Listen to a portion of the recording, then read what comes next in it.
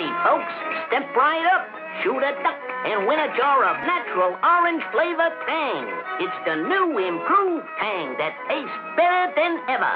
Boy, I like instant tang, but I hate the idea of shooting a relative.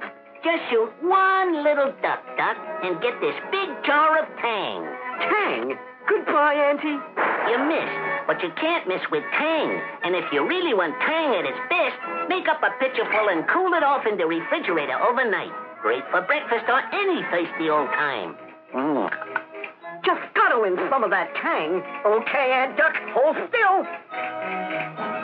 Why, you miserable tangster? Now wait, I was just kidding. March. Step right up, folks. Hit the rabbit and win a big